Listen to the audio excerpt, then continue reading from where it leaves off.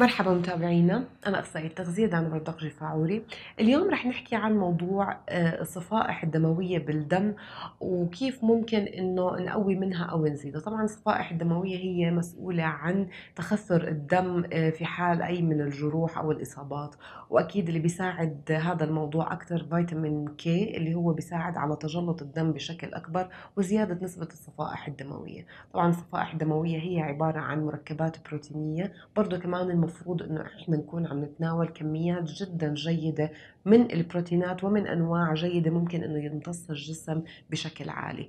البروتينات مثل اللحوم السمك والدجاج البيض الحليب جميعها من أفضل أنواع البروتينات والأشخاص اللي ما بتناول البروتينات من المصادر الحيوانية ممكن إنهم يتناولوها من أي من المصادر النباتية وخاصة من البقوليات مثل العدس الحمص الفول ولكن بكميات معتدلة حتى ما يزيد وزنهم بشكل كتير سريع.